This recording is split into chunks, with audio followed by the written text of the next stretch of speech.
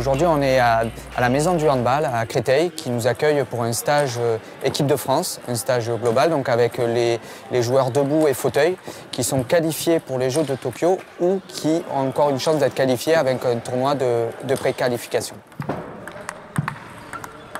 On a besoin de se confronter les uns aux autres et forcément, euh, les meilleurs Français comme on est là, on est tous dispatchés aux quatre coins de la France. Donc on a besoin de ce rassemblement de ce type-là.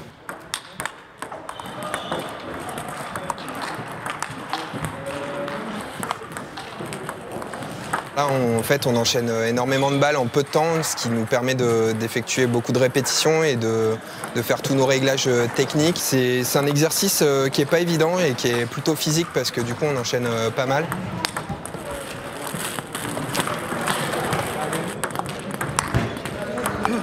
C'est important d'avoir un maximum de repères, y compris dans les autres moments où on est atteint physiquement, où on est fatigué.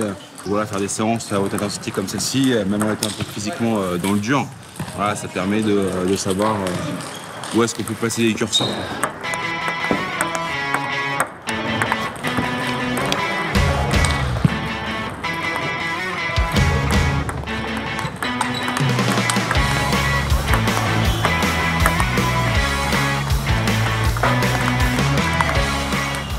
Il y a un nouveau staff qui s'est installé depuis le retour de, Rio, avec euh, bah, beaucoup d'anciennes joueuses euh, pro ou de joueuses pro encore en activité et qui nous apportent euh, bah, leurs compétences et leur vision aussi des choses qui nous permet, nous, de continuer à évoluer cette complémentarité qu'ils peuvent avoir entre euh, ceux qui sont déjà champions paralympiques et puis des Lucas qui, apprennent ce que c'est que l'entraînement et préparer des grosses compétitions. Donc euh, il y a vraiment une, dynamique qui est hyper intéressante et avec euh, pas mal de variétés, ce qui apporte une grosse richesse pour tous. Quoi.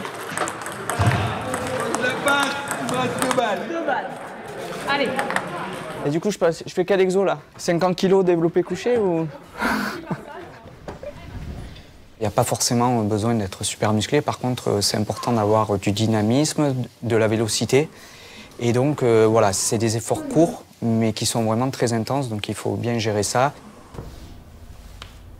C'est un sport unilatéral, donc euh, on a beaucoup de soucis au niveau euh, des épaules.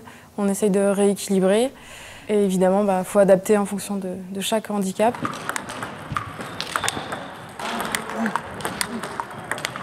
On a quand même une forte identité, une forte tradition du tennis de table handisport en France. Et aussi beaucoup de spécificités dans, nos jeux où on est plutôt créatif. On essaye de travailler aussi euh, sur la relève pour arriver bah, à, faire que le tennis de table handisport nous survive aussi et qu'on puisse euh, transmettre aux jeunes générations euh, tout ce que nos anciens nous ont apporté. Bravo, pas mal pour un handicapé.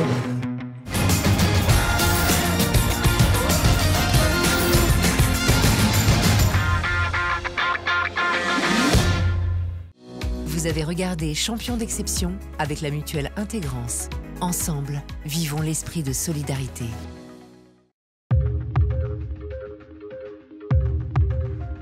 Votre programme avec Société Générale.